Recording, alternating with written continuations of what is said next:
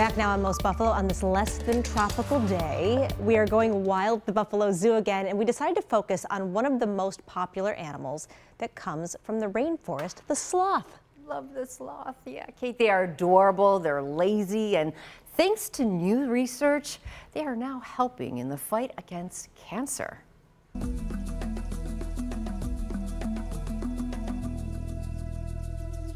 At about two feet long and roughly 20 pounds, it's not the largest inhabitant of the Buffalo Zoo, but it is one of the biggest attractions. Flash, the two toed Linnaeus sloth, is a fan favorite. It's really important to have Flash the sloth because he is a perfect ambassador for rainforest animals. There are five species of sloth in the wild, and all make their home in the lush canopy of the rainforest. Linnaeus sloths sleep about 20 hours a day. They're nocturnal and exist on leaves, berries, and twigs. Their low nutrient calorie diet demands that they conserve energy, which means they do everything slow, very slow. It takes a whole month for a sloth to digest a single leaf, and a whole minute for them to travel six feet on land. Sloths are most vulnerable on the ground which is why they stay in the treetops, except for once a week. They'll actually have to go to the bottom of the tree um, in order to go to the bathroom, um, and that's again just once a week. Why they risk their life to defecate is a mystery. One theory is it could be some sort of communication for mating. Aside from that weekly trip to the ground, everything from eating and sleeping to mating and birthing is all done high in the treetops hanging upside down. They have powerful legs with claws that aren't nails, but rather bones that protrude from their limbs. The thick fur on their back forms a V, allowing water to trickle off.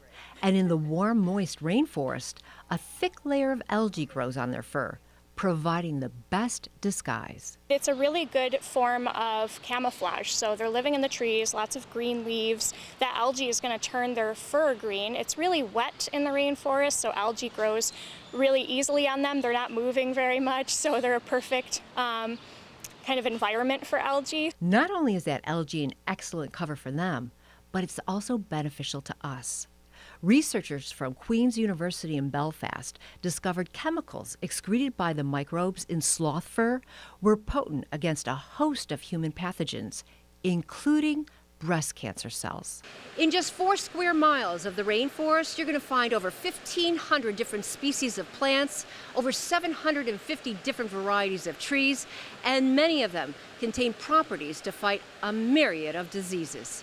As of now, sloths are not endangered, but their habitat is.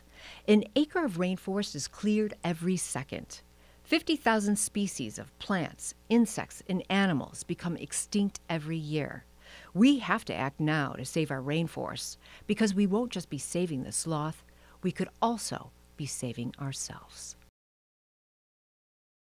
Kate, 3,000 plants have been identified by the National Cancer Institute as active against cancer cells. 70% of those come from the rainforest.